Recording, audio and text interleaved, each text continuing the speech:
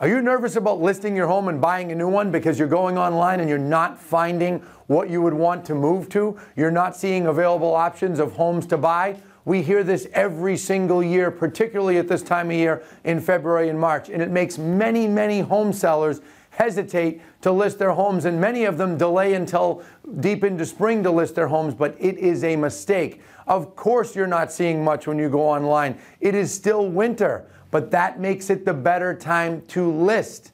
And when you list your home in a month like this in February or in March, when inventory is lower, you will be able to sell for more and negotiate better terms and a longer closing date. You can negotiate a closing date into the summer. You can also negotiate things like subject to the sale of seller finding suitable housing. Those types of things are harder to negotiate in the summer and in the fall. So, to take advantage of the market, the best way to go about this is list your home now in the next couple of weeks.